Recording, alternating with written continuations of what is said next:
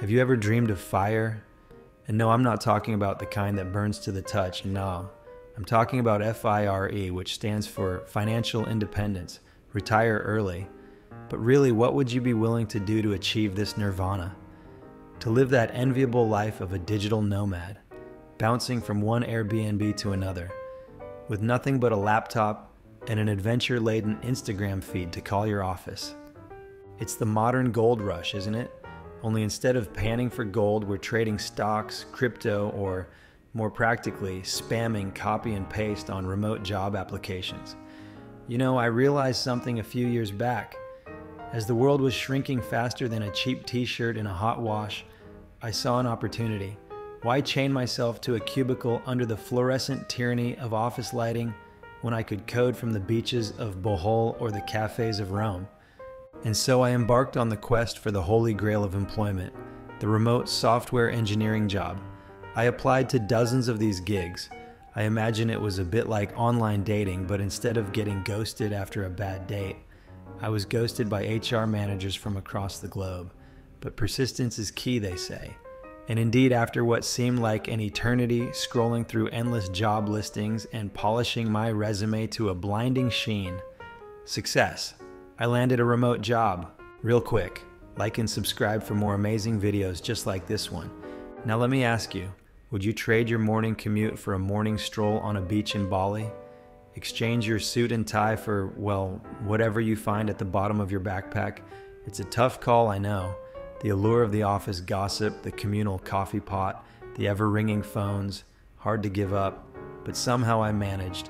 I'll never go back to an office again, unless, of course, it's the headquarters of my own startup. Then it's a different story. I might even buy a fancy coffee machine to lure me in every morning.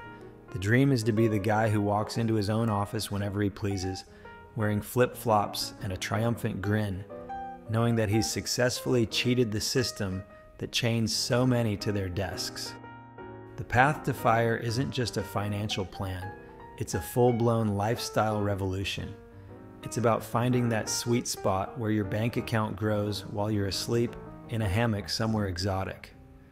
It's not for everyone, though takes a certain type to stare into the abyss of the unknown and say, Yeah, I'll jump into that. So, what's your move? Will you join the ranks of us noble nomads, those gallant pioneers of the digital frontier? Or will you cling to the safety of the familiar, where the only sands you see are the ones stuck in the office hourglass counting down to retirement when you're 70 years old and too decrepit to enjoy life? The way I see it, it's about choices about daring to dream of a life less ordinary, about deciding whether you're the kind of person who takes the road less traveled or the one who just posts inspirational quotes about it on social media. Choose wisely, my friend.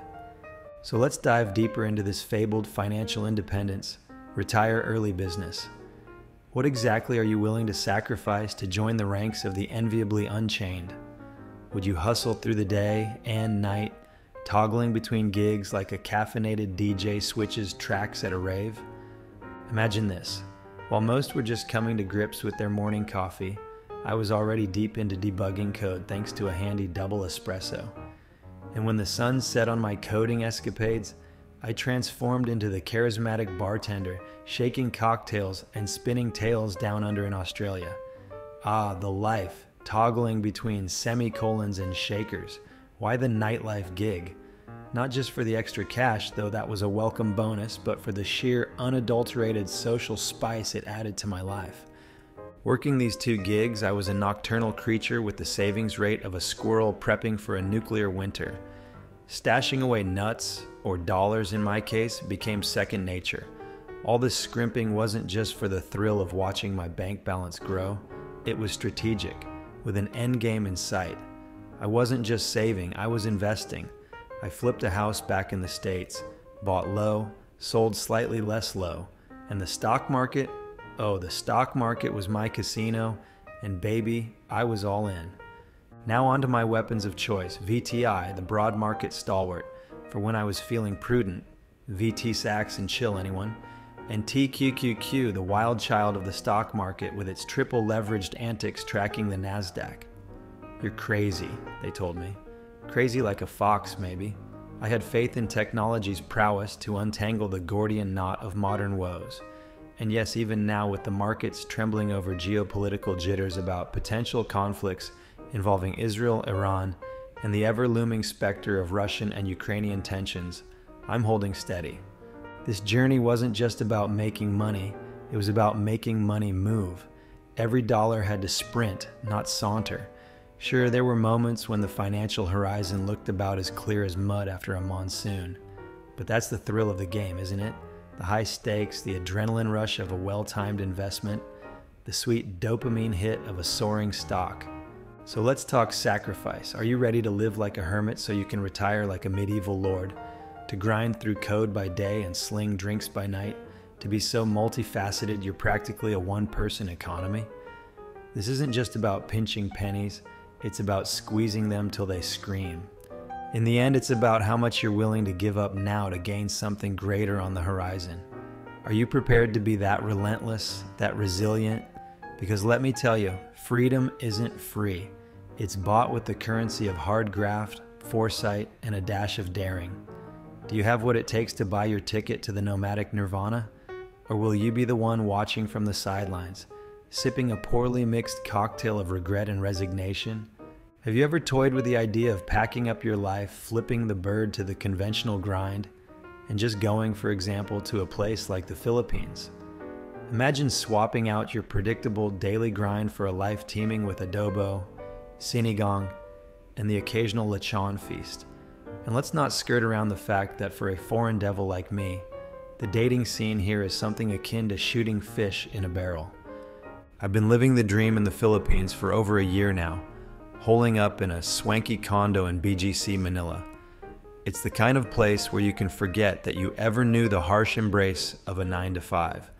Now, my toughest decision of the day is whether to have my rice with pork or shrimp. And as for work, well, let's just say that my office hours are as fluid as the rum in my Friday night cocktail. In a couple of weeks, I'll be off to Bohol. It's not just an escape, it's a full on immersion into a world where chocolate hills are more than just a sweet daydream, and where tarsiers look at you as if they know all your secrets.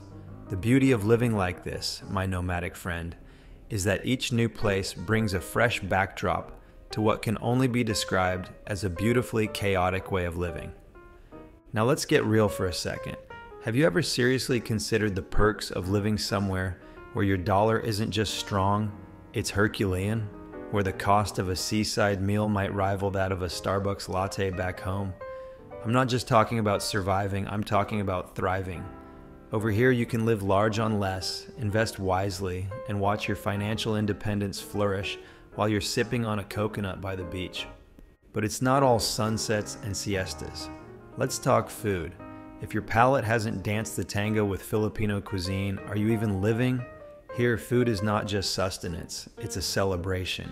From the tangy bliss of a well made adobo to the soul soothing warmth of a sinigang on a rainy day, every meal is a reminder that life, much like Filipino cooking, can be a delightful mix of sweet, sour, and spicy. And then there's the social scene.